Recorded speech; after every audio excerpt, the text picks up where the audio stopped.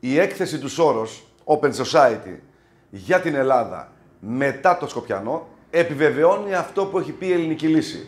Μας τρέμουν, μας φοβούνται.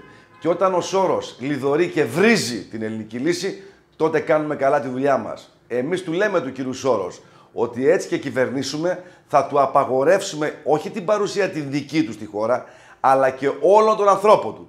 Και δυστυχώς για αυτόν και για την Ελλάδα υπάρχουν πολλοί άνθρωποι του Σόρου στην Ελλάδα. Σύμβουλοι του κύριου Μητσοτάκη, σύμβουλοι του κύριου Τσίπρα, όλους αυτούς, επειδή συμπεριφέρονται με ελληνικά και αθεληνικά, θα τους κόψουμε τα πόδια.